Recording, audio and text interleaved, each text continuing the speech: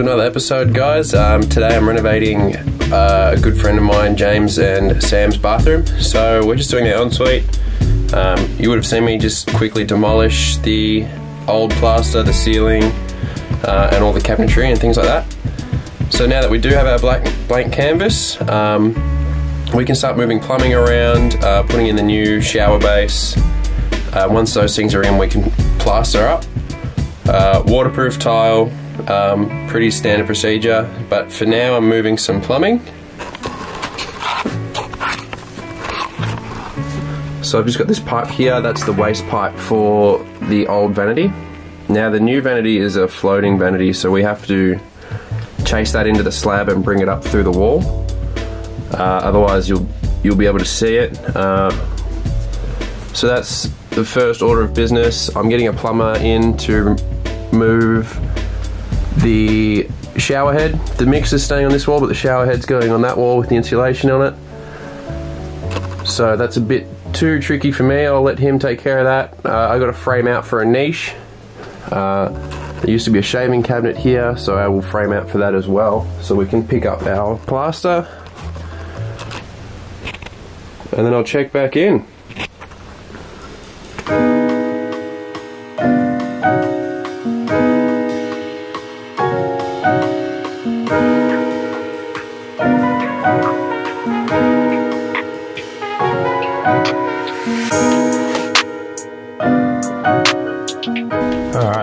Waste pipe done for now.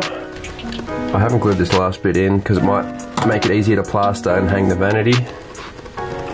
Um, and if you're not going to glue things, make sure you label it. So we've framed out for the niche. It's a bit unusual the way it's been done, uh, but there's water points right here for laundry. So we've tried to get the niche as low as we can without having to move those water points. Um, just an extra stud in there because the centers were too big. Some big noggins for the towel rail. Uh, another stud there, that was a bit of a doozy, trying to check it out around all of this.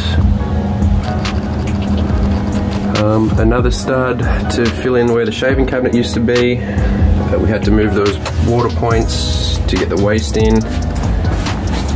And then another noggin here to pick up the shower rail so the shower, the water for the shower's been moved and the mixer's been installed. All right, we've finished framing, so now we're ready to put the shower base in. Uh, once the shower base is in, we can insulate the ceiling, uh, plaster the ceiling and then plaster the walls. And then we gotta wait for the waterproofer, the tiler, and then we come back and do all the towel rails and the shower screen and things like that.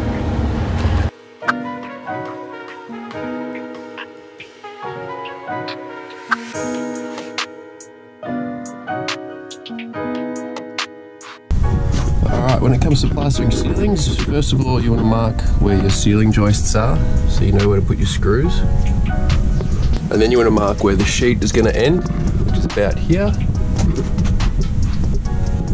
Mark that on every joist, and then you can know where to put your screws and where to put your stud adhesive.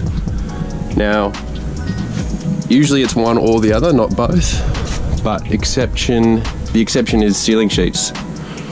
So if it's um, not a corner or an edge uh, ceiling joist, what you want to do is put uh, two or three globs of stud adhesive. So you can see previously it had two, and then where where there isn't stud adhesive, that's where you put your screws. And that is the correct way to put plaster on your ceiling.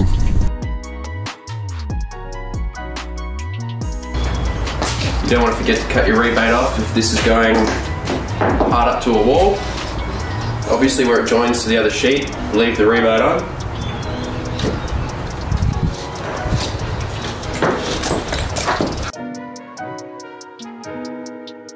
Alright, there we go, that's our first sheet up. So screws all along that edge. Uh, you put two screws where the stud adhesive isn't, and then obviously a screw where it joins on the sheet. So we've got two screws, stud adhesive, two screws, stud adhesive, two screws. Now because all the walls are getting tiled all the way to the ceiling, you want to make sure the ceiling sheets are as close to the timber as possible. and try and minimise your gaps.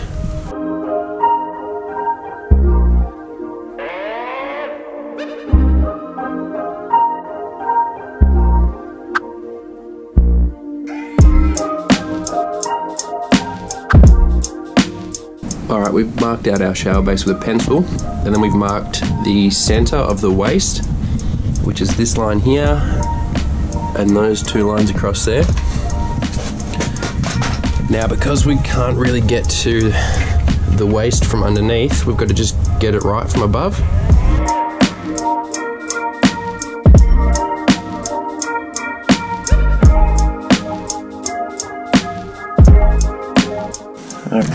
There's our custom made trap in the center of a shower base.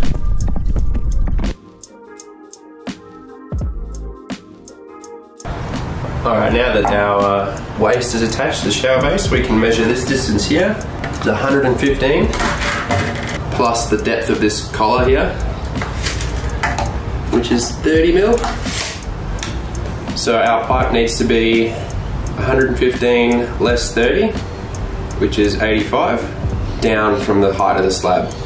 So that way we know our pipe's going to go into here 30 mil, and the height here is going to make up the rest of the difference uh, in the slab. So we'll cut that out now. Now we've done everything right. We should still have a 90 mil difference here. Yep. So then the waste on the shower base is going to stick down 30 more past and sleeve over this pipe and everything will be connected.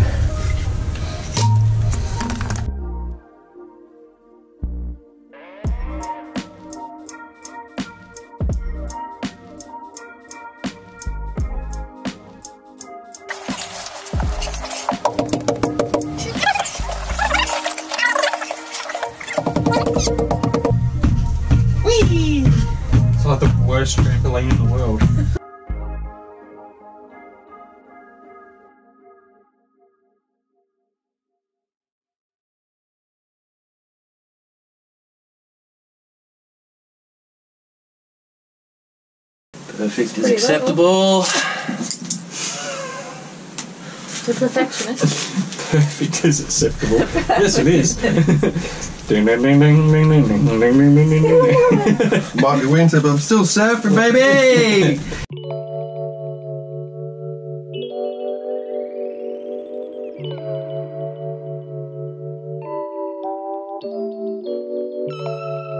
Alright, the shower base is in and we've just done a bit of extra framing around the bottom. I wasn't happy with the gap there, so now the plaster won't belly in, we're ready to install it.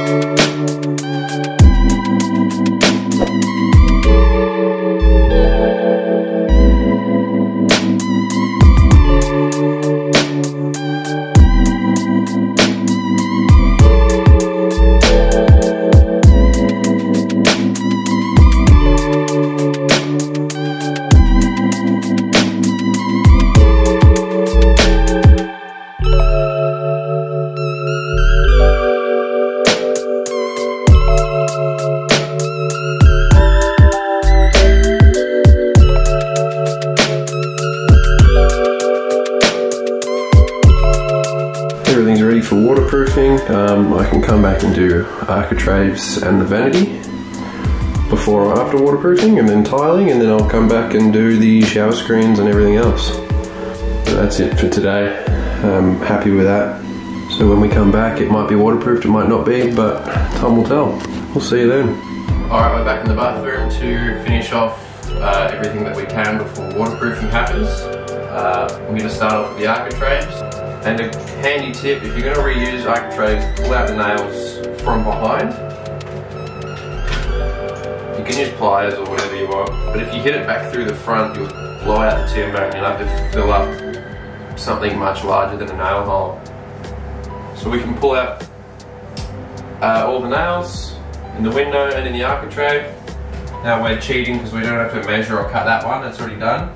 But normally you want to cut these roughly to length. So that way you've got you've got one angle ready to go and then your next piece you can just mark on the spot and then take it out and cut it. So I'll go through the process now of doing architraves. It's the same whether it's you know, a door or a window or 10 windows, it's all the same theory. So I'll go over that now and then we'll move on to the vanity and uh, we just got to do a bit more top coat on the plaster. So sorry about the noisy fan, I can't turn it off, but we'll get into uh, architraves. All right, I'm going to start with the bottom one. Now, first of all, you want to make sure there's no plaster that's going to get in the way. So you want to get this, uh, I call it a quirk. It's kind of the just a little step that you see between the windowsill and the architrave. You don't want it flush and you don't want to have a massive quirk, so three, four, five mil, something like that's pretty good. So always make sure you got a sharp pencil. Come over to your window. And just make a mark. And then that's just a reminder of the angle it has to be. Okay, so we've got our quirk here that we want. And a corresponding mark on the piece of timber. And we can take this outside now and cut it.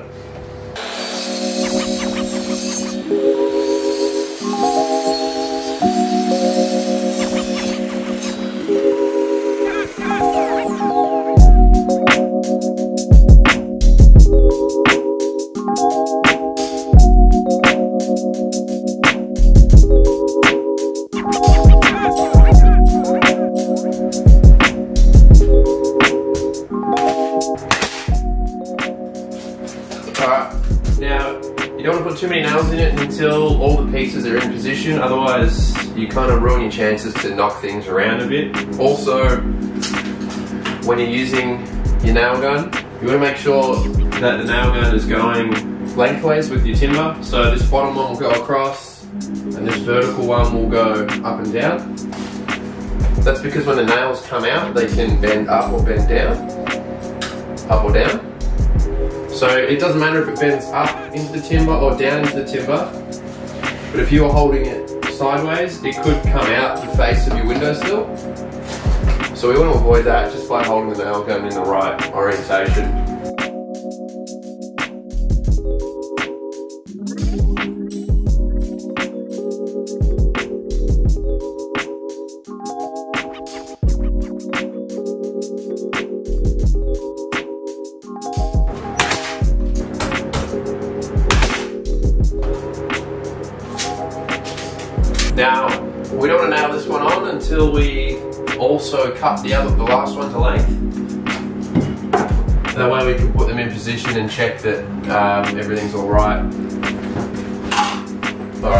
Checked those two pieces are going to work.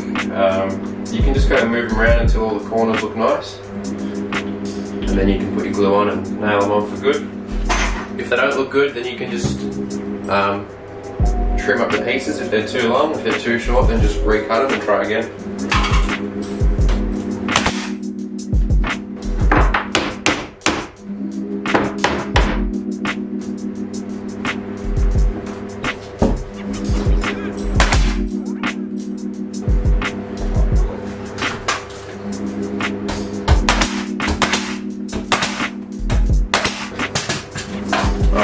Put some brads in the corners to hold them flush with each other and to hold them, stop them from cracking. And then that's it. Fill the nail holes and away you go. So these here are the brads, just really short nails. Alright, just to get a nail started.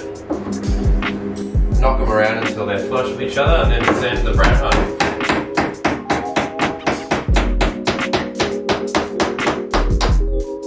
Alright, you're not always going to get them perfect um, with the brads, so you can just use a quick palm sander and get the corners nice and flush with each other. Okay, so we didn't have to replaster this wall because there was no tiles stuck to it, so the plaster just stayed where it was. Um, that means we didn't put any noggins or anything like that behind the plaster, so I've just measured the vanity. It comes out 500 mil. So I'm actually going to cut the plaster out just here, uh, put some support in behind, and that'll help keep the vanity nice and secure because it is a floating vanity. Um, it's not supported by the ground, it's all just held up by screws into the walls. So I'm just going to be a little bit more comfortable knowing that there's screws in the back wall and in the side wall. Uh, I just think it's going to be stronger and longer lasting. So we'll cut this out, throw some timber in, put the plaster back on, uh, and then we'll be good to go with cutting holes in the back of the vanity for waste pipe, water pipe, and then we can prop it up and screw it to the wall.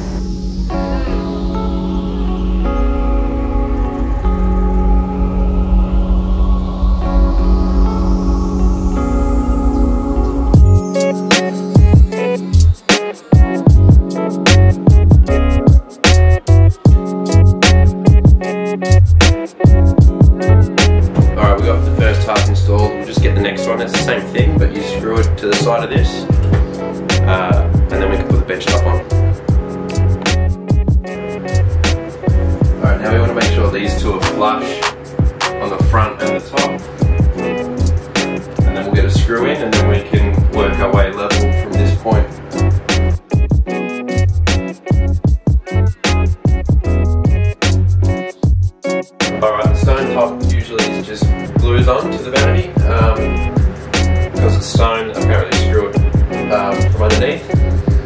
So we glue it on and then once the tiles go on as well, um, that's all just going to lock it in place. And it's pretty heavy so it's not going to lift up ever. So we just use some general purpose silicone and that'll be plenty enough to hold it down.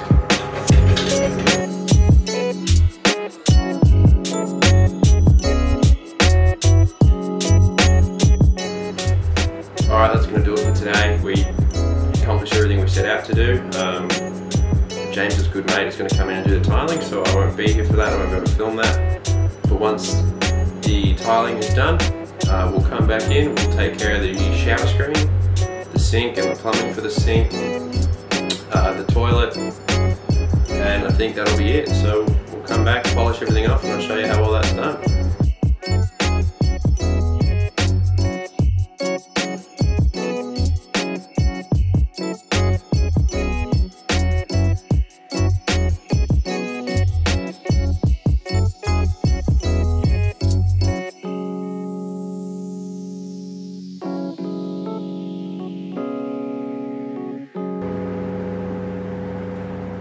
Now that's why we had to put that packer in. Otherwise the drawer would have hit this architrave.